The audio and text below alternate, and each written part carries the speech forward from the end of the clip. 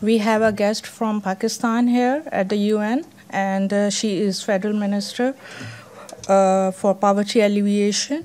She is also a special assistant of Pakistan's Prime Minister on Poverty Alleviation and uh, Social Safety Ministry, Dr. Sania Nishtar.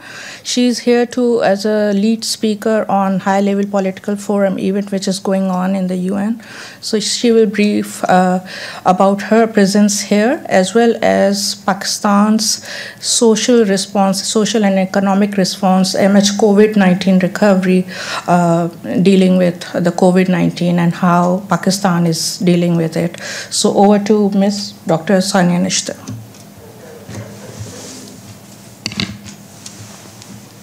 Good day to everyone. Delighted to have the opportunity to speak to all of you, and I really want to thank you for uh, giving this briefing your time. Uh, I'm here uh, for a set of meetings um, with regard to the high level political forum uh, of ECOSOC. Uh, in particular, I'm here for uh, a side event which is going to happen tomorrow at 9 a.m. Uh, the side event is titled uh, Social Protection and Inflection Point. Uh, the, the, permanent mission uh, of Pakistan, in collaboration with the governments of Finland and Costa Rica and the United Nations and the World Bank, are hosting the side event. Um, I personally feel this is a very critically important side event because COVID 19, amongst its other dire consequences, uh, has led to unspeakable hardships. Uh, and it is absolutely um, moral imperative uh, for the world to uh, expand the base of social protection globally. So, to catalyze the conversation uh, as a peg in that process, our permanent mission in collaboration with the program I run back in Pakistan called Ehsaas, uh, which means compassion in our local language Urdu, is hosting this initial kickoff session tomorrow. Uh, we had a set of uh, we have a set of experts who are going to engage in a discourse. Uh, subsequent to which we are going to decide the process um, for, for the way forward in terms of planning and in terms of coming to a conclusion on what needs to happen in terms of an institutional arrangement, in terms of uh, a set of norms, in terms of um, benchmarks that countries ought to agree upon with regard to uh, the expansion of social protection domestically. And I really hope that um, as one of the outcomes of this discourse, we will agree upon the need to have a community of practice uh, and a peer to peer learning platform. Because whilst I was going through the experience of uh, COVID 19 and whilst back in the country, I had the responsibility of planning and executing programs. Um, I felt that there was a that there really was no mechanism where I could lean on other peers for advice, for uh, to learn from their experiences. There was no community of practice where we could share um, our, our, experiences as we uh, as, as we came across difficulties. So I think one of the things that I would really like to uh, see coming out of this meeting is the is the need to have such an arrangement. And as I said earlier, we will use this meeting to uh, to further the discourse on specific uh, modalities. Um, we believe back in Pakistan that social protection is not just important for support and building resilience, but that it is also a very important policy peg with respect to human capital development and furthering financial access to education, to health and nutrition. Social protection is also uh, a very important policy lever for financial inclusion, um, uh, for economic in, uh, economic inclusion, and as a policy peg to reduce inequities. Uh, social protection also provides an economic stimulus. Uh, it helps to revive economies uh, when pursued in, at scale and it helps to create jobs uh, as a result of um, the economic stimulus that social protection pro- programs provide. So, in so in many ways, uh, it is a policy tool to further human uh, development objectives as well. Now, in Pakistan, for a uh, for quite some time, even before the COVID 19 pandemic, uh, social protection was a policy priority for our government. Uh, our government put in place a program called Ehsaas, which is the boldest social protection program ever having under, uh, ever been undertaken in the history of the country. It has more than 280 programs, policies, pillars, and initiatives uh, structured in four thematic pillars, uh, targeting four vulner- 14 vulnerable groups. There are 34 executing agencies of the program um, uh, Ehsaas, and it's a very ambitious program, well on its way to implementation. Uh, and in order to roll the program out, we had to create a new ministry, we had to double the budget, we had to create a digital infrastructure. So in the year 2019, we spent quite a lot of time developing this infrastructure and the program itself. And then when COVID 19 struck, we had the institutional base to uh, roll out a very large cash transfer program covering 100 million individuals in, in terms of the percentage of population covered, this was the third largest program in the world. Um, uh, you know, United States and Japan had the largest programs in terms of percentage of population covers in, covered in ours was the third largest. Um, but but in tandem with this cash transfer program, uh, in the last year, we continued with our other planned efforts to expand the base of social protection nationally. So we expanded uh, education conditional cash transfer program nationally. We uh, we rolled out a brand new health and nutrition conditional cash transfer program, which we are now upscaling uh, nationally. We we expanded our uh, expanded our efforts to build a new uh, social registry, uh, which of course is the basis for targeting. Um, and uh, we espoused a new program, um, a, a, a, policy initiative called 50% Plus, which means that 50% of all benefits under this program called Ehsaas would accrue benefits to women. Uh, and, and a number of steps have been uh, taken in this regard. So, um, perhaps a long-winded way of saying that back in back in our own, uh, back in Pakistan in our home base, we believe that social protection uh, is something to which there should be universal access for those that need it. Uh, this is not just something that we have espoused as policy, we are actually cascading it into implementation.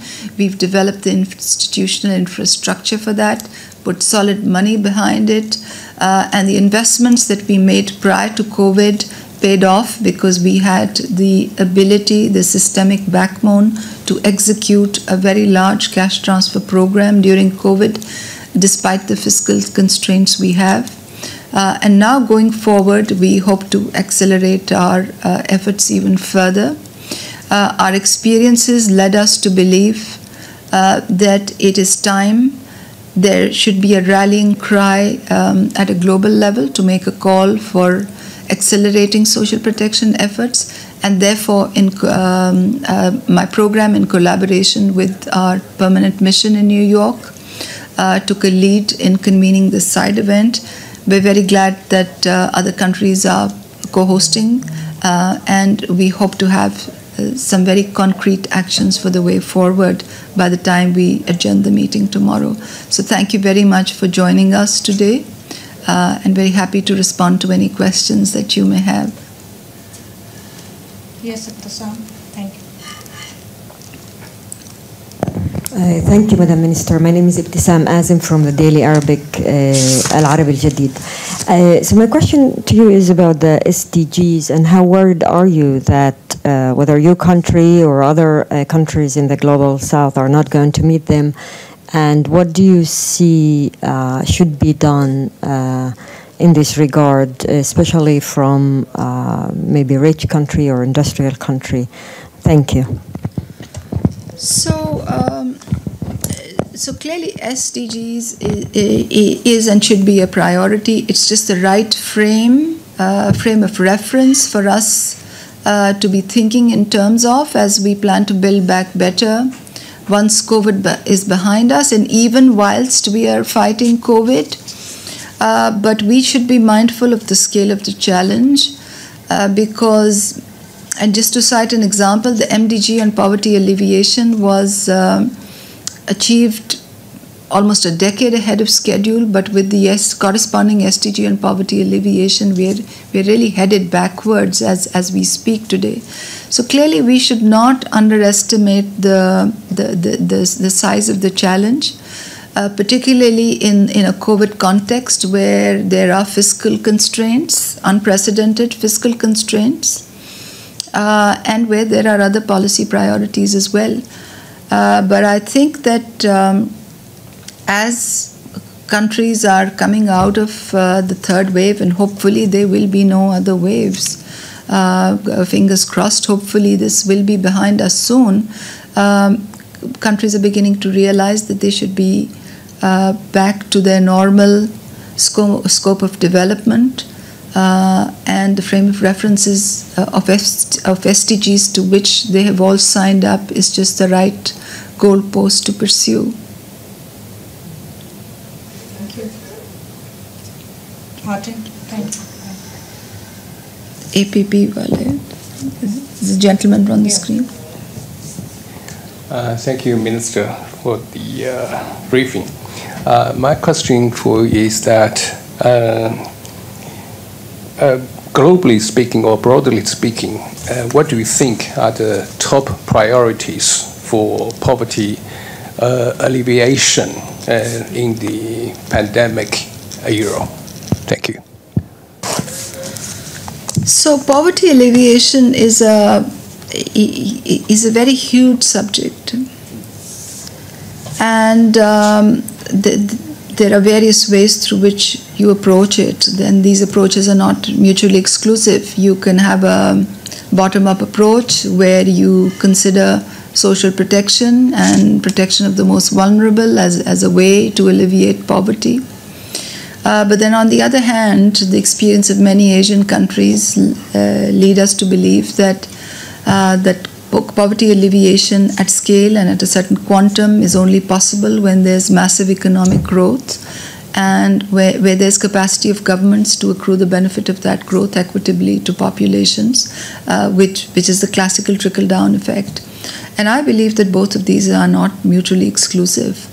Um, and there are a hu- whole huge set of policy actions that are relevant to alleviating poverty and suffering and protecting the vulnerable in a specific um, uh, in a specific country context. In countries, there are cash transfers, there are uh, there are care services, there are initiatives aimed at graduating individuals out of poverty uh, on, at the one hand of the spectrum, there are cash for work initiatives.